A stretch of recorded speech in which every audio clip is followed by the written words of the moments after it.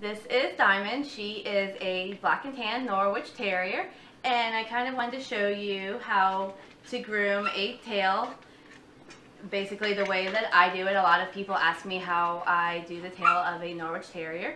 She got hand stripped. Her hair basically blew and what that means is all of her coat was dead and had to be stripped out and I purposely did that. Um, a lot of terriers go through through this and we call it blowing their coat where all their hair dies off and it needs to basically come all the way off and I'm getting her ready for shows um, later in the summer probably early fall and I took all of her back coat off. She does have a little coat left on her, um, which is good. And she also has some furnishings. The furnishing is called the back part of the legs here and the stomach, which is good.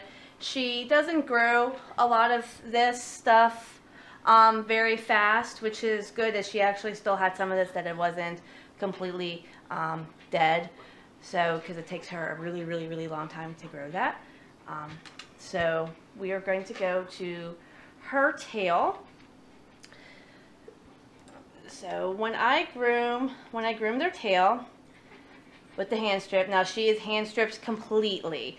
The only thing that I ever will use scissors on um, is going to be part of this tail and um, rounding up their feet and trimming under the belly just a little bit here. I use thin thinning shears and when I trim their feet here I use curves. So when I do their tails just comb everything forward even though she is hand stripped. And you want to hand strip and you want to pull everything with the way that the hair grows. Now I'm pulling just the top part of her tail and down to and then down to the sides here this is all going to be hand stripped now you never want to go against the grain which would be going this way you never want to pull the hair this way um, that would basically rip the hair out. It's going to also be really painful for her. Now, when you pull the hair out, you also want to make sure that you're not breaking the coat. What breaking the coat would mean is basically not pulling the hair fully out. So when you pull the hair, you want to make sure that you're pulling everything out from the roots. So when you pull it, if you can see this here, I'm pulling everything out roots completely, as you can see there that is all hair right down to her skin. Now, the one downfall that this particular dog has, um, and some dogs, some Norwiches have this, she does not grow a undercoat, so you have to be very careful with that. And what I mean by not having an undercoat is since she had that blown coat, when you do a blown coat, you're basically taking them down all the way to their undercoat. Um, you're taking all the guard hairs, all the top coat off down to their undercoat. And that's pretty much what's being left on them um, is their undercoat. Um, and then you can kind of rake some of their undercoat out because some of them can have thicker undercoat. This particular dog just does not grow an undercoat.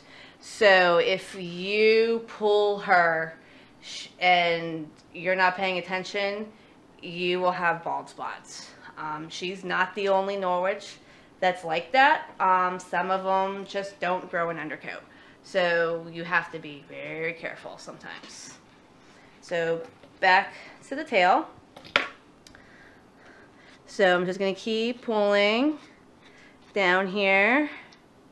Um, keep pulling here because I don't want to pull too, too much because like I said, she does not have that undercoat. And also she will get red too since she doesn't have that undercoat. Now, if you do get sometimes with the red that is normal, um, with the hand strip dog. Some people do kind of freak out about that, but it is normal. And some people also ask me if she was born with her tail like this. No, she was not. She had it docked when she was three days old.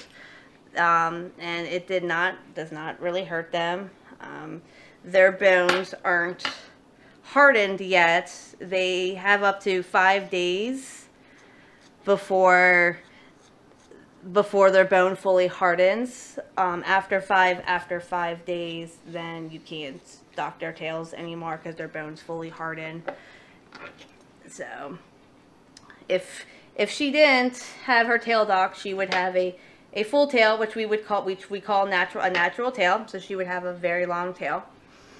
Um, some breeders are actually leaving their their tails um, natural um, now. I'm still a fan of the dock tails. I think it's cute. Um, that's how I've known to breed. Um, I just think it's really cute. Um, it's big, one of the things I like about the breed.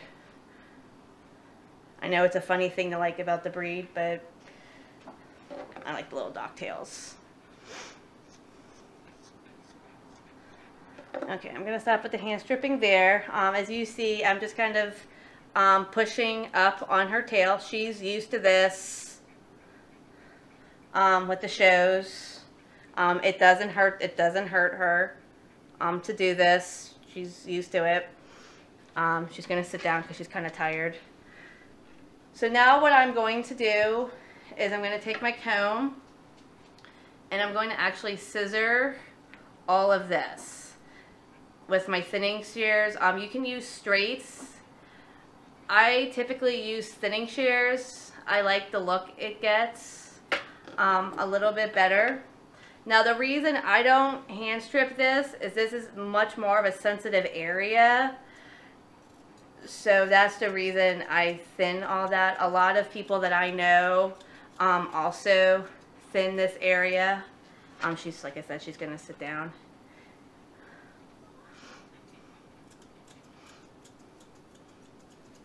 And I'm basically just going along the sides here, all the way up. You always want to make sure you want to find out where the point of the tail is. So her end of the tail is here. And I always hold my finger right at the end.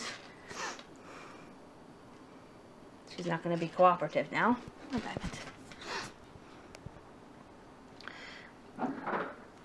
So hold it.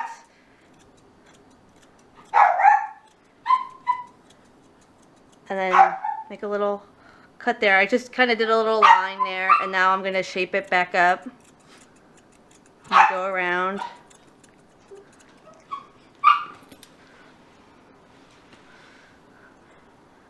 And what I'm doing here is I'm combing the hair out to the side. I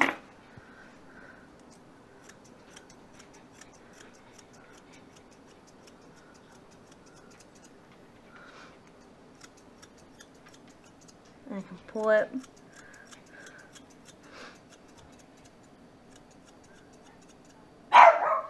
Pull it here. Sorry, you probably, my puppy, which is her son, in the background. He wants to come over, he wants to come over here and be in the video.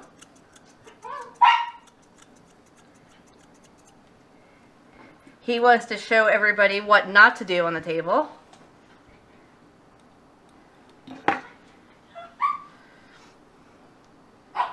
He also is currently showing. Um, he beat his mom at six months of age. Um, in confirmation, we show confirmation in AKC and UKC. Um, if people aren't familiar with UKC, that's the United Kennel Club. Um, this one here actually is um, was ranked the last two years as the number two Norwich Terrier and is currently ranked this year um, right now as number one um, in UKC. So there's our little video on how to groom the Norwich Tail. I hope you enjoyed our video and stay tuned next time for another video on tips and tricks. And we hope to see you soon. Thank you. Bye-bye.